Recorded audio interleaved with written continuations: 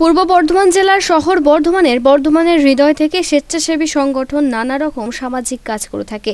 বিশেষ কোনো অসহায় মানুষের সংবাদ পেলেই তাদের কাছে উপস্থিত হয়ে সহযোগিতার হাত বাড়িয়ে দেয়।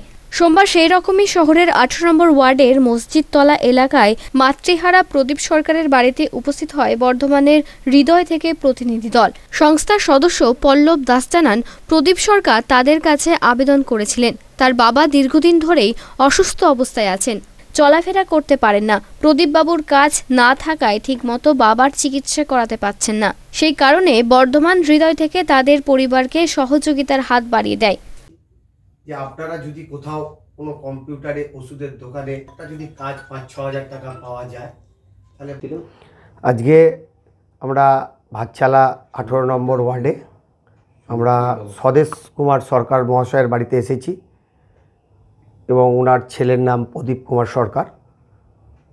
বিগত বহুদিন ধরেই স্বদেশ কুমার সরকারবাবু অসুস্থ হয়ে পড়ে আছেন, প্যারালাইসিস হয়ে। চলাফেরাও উনি করতে পারেন না। এবং কিডনির একটি সমস্যা দেখা দিয়েছে। যে কিডনির সমস্যা দেখা দেওয়াতে চিকিৎসার ক্ষেত্রে প্রচুর অর্থ প্রয়োজন।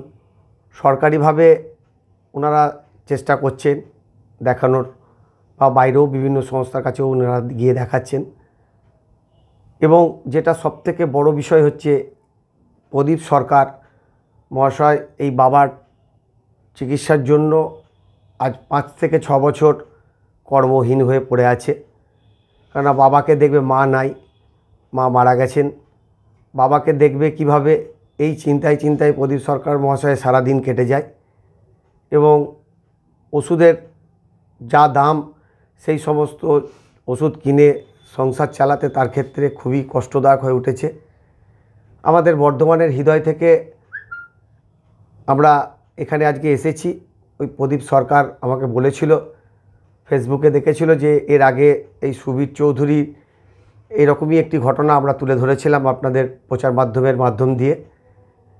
তারপরেই সুবীর চৌধুরী মহাশয় একটি কাজ পান এবং সেই জায়গা থেকে প্রদীপ সরকারবাবু আমাকে বলেছিল যে আপনারা বর্ধমানের হৃদয় থেকে আসুন, আমাদের পরিবারের পাশে দাঁড়ান এবং একটা যদি কোথাও কাজ প্রদীপ সরকারের হয় পাঁচ ছ হাজার টাকার তাহলে হয়তো ওর বাবার ওষুধটা কিনে অন্তত চালাতে পারবে।